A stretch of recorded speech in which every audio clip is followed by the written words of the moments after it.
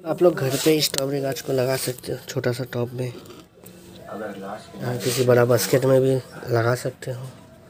ये मेरा पहले का है। और ऐसे कुछ भूसी, पुआल, जो भी होगा आपके पास, मिट्टी के साथ दे देना है। इससे गाछ ख़राब नहीं होगा स्ट्रॉबेरी भी ख़राब नहीं होगा। स्ट्रॉबेरी अगर ज़मीन को टच करता है तो ख़राब हो जाता है।